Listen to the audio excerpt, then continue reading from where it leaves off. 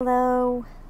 Thank you for joining with me. We are on day 23, reading the text in chapter 1, Miracle Principle 44 and 45 in A Course in Miracles, CE edition by Circle of Atonement, edited by Robert Perry. This is a study group with Emily Bennington. And please join the group. It's Course Companions, and we are on Facebook and if you join, she'll send you to her website to get the reading material. 44. Oh, let me start with a prayer. If we can please close our eyes. Dear God, if left to my own devices, my perception will be skewed. I surrender to you everything that I think and feel. God, please take my past, plan my future, send your spirit to redeem my mind that I might be set free. May I be your channel, God, and serve the world. May I become who you would have me be. Help me to recognize my true identity in you. God, enable me to have an open mind for a new experience about this book, about you, about myself, and about others. Thank you, God. I, I'm grateful for an open mind and a new experience with all things, childlike vision. I love you. Amen. Okay, so 44. Miracles arise from a miraculous state of mind.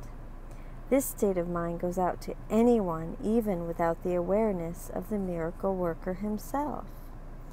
The impersonal nature of miracles is because the atonement itself is one. By being one, it unites all creations with their Creator. 45. Miracle is an expression of an inner awareness of Christ and acceptance of His atonement.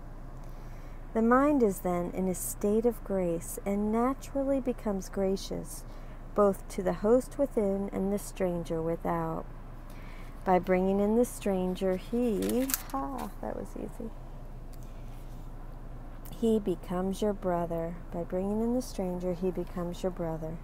Matthew 25:35 I was a stranger and ye took me in insomuch as ye have done it unto one of the least of these my brethren ye have done it unto me.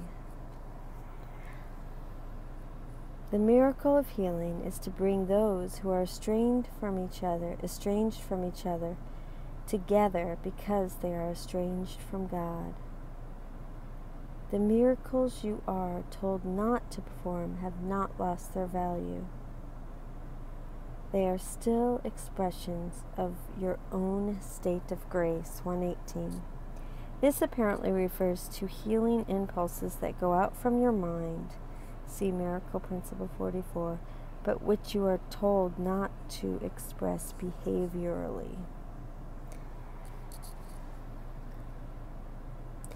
But the action aspect of the miracle should be Christ controlled because of his complete awareness of the whole plan.